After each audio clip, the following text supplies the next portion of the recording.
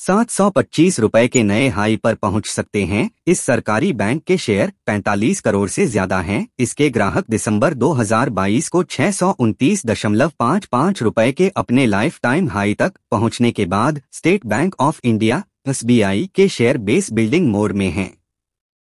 State Bank of India के share बुधवार 22 मार्च 2023 को पाँच सौ के स्तर पर हैं।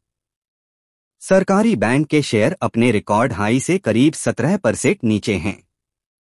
घरेलू ब्रोकरेज हाउस मोतीलाल ओसवाल का मानना है कि देश के सबसे बड़े बैंक के फंडामेंटल्स काफ़ी मज़बूत हैं। ब्रोकरेज हाउस के मुताबिक, एसबीआई के शेयर बेस बिल्डिंग मोड से जल्द बाहर आ सकते हैं और अपने नई हाई पर पहुँच सकते हैं। बाय रेटिंग के साथ 725 रुपए का मिला टारगेट। घरेलू ब्रोकरेज हाउस मोतीलाल ओसवाल ने State Bank of India, SBI के शेयरों को बाय रेटिंग दी है। ब्रोकरेज हाउस का कहना है कि देश के सबसे बड़े bank, State Bank of India के शेयर 725 रुपए तक जा सकते हैं। अगर कोई व्यक्ति 525 रुपए के मौजूदा स्तर पर एसबीआई के शेयर खरीदता है तो वह 40 परसेंट तक रिटर्न की उम्मीद कर सकता है। ब्रोकरेज हाउस ने हर गिरावट पर बैंक के शेयर खरीदने की सलाह दी है। इस साल अब तक एसबीआई के शेयरों में 15 परसेंट की गिरावट।